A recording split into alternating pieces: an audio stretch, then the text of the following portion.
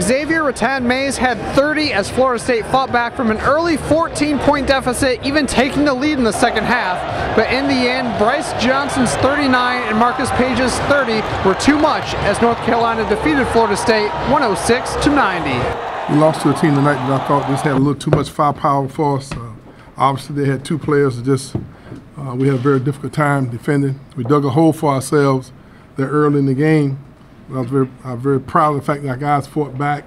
I thought they gave tremendous effort. ACC is the best conference in America, and uh, we we got to bring it every single night. And because um, I, I, think it was it's kind of a shock for for our new guys that um, that teams have they do such a great job scouting now, and and they're going to take away the first, second, and third things that you like to do, and, and you're going to have to um, revert to something else.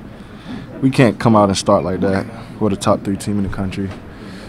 So once we got down, the good thing is we didn't like lose our energy. We fought back.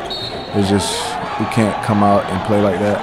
And you got a big time team in front of you, and you're at home. I know for a lot of us uh, veteran guys, me, Montay, uh, Dev, and Boris, and those type of guys, um, we've we've been in these situations before. Where we've been down uh, and, and, caught our way back, and um, uh, we just we just kept everybody positive and uh, just just tried to rally everybody, saying that they made their run, and uh, it was time for us to make our run, and we did that in the first half. Yeah, every game is a learning experience. Um, you always can take something from every game, so this is a big learning experience by boxing out and not allowing 50 points in the paint.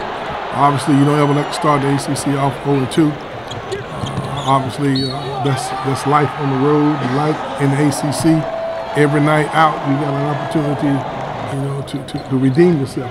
And we, as we look toward the, the remainder of our schedule, we still have an opportunity we just continue to keep getting better. The Seminoles will look for their first ACC win of the season on Saturday as they travel to Coral Gables to take on rival Miami.